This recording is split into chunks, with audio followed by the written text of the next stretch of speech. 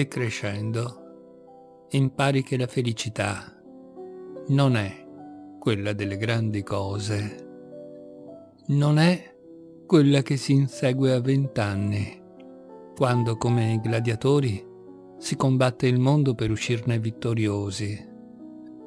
La felicità non è quella che affannosamente si insegue credendo che l'amore sia tutto o niente. Non è quella delle emozioni forti che fanno il botto e che esplodono fuori con tuoni spettacolari. La felicità non è quella dei grattacieli da scalare, di sfide da vincere, mettendosi continuamente alla prova.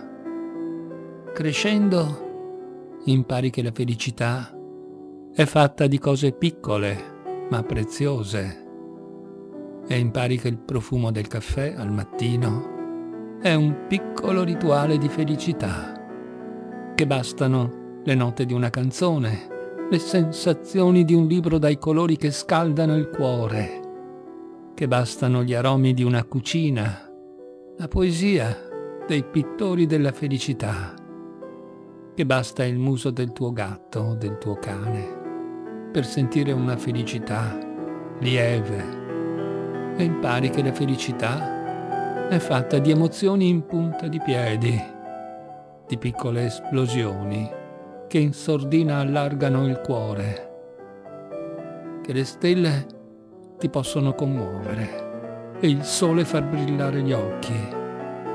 E impari che un campo di girasoli sa illuminarti il volto, che il profumo della primavera ti sveglia dall'inverno e che sederti a leggere all'ombra di un albero rilassa e libera i pensieri e impari che l'amore è fatto di sensazioni delicate, di piccole scintille allo stomaco, di presenze vicine anche se lontane, e impari che il tempo si dilata e che quei cinque minuti sono preziosi e lunghi, più di tante ore, e impari che basta chiudere gli occhi, accendere i sensi sfornellare in cucina, leggere una poesia, scrivere su un libro o guardare una foto per annullare il tempo e le distanze.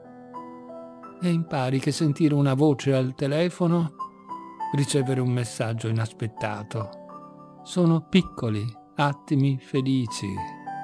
E impari ad avere nel cassetto e nel cuore sogni piccoli ma preziosi. E impari che tenere in braccio un bimbo è una deliziosa felicità. E impari che i regali più grandi sono quelli che parlano delle persone che ami. E impari che c'è felicità anche in quella urgenza di scrivere su un foglio i tuoi pensieri, che c'è qualcosa di amaramente felice anche nella malinconia. E impari che nonostante le tue difese, nonostante il tuo volere o il tuo destino, in ogni gabbiano che vola c'è nel cuore un piccolo, grande Jonathan Livingstone. E impari quanto sia bella e grandiosa la semplicità.